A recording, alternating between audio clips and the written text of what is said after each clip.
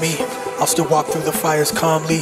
See, I know what God put in me is way more than what the world puts on me. See, my life is a story, one that will keep on showing. Not half full or half empty, my cup is one that is overflowing. I can see the light.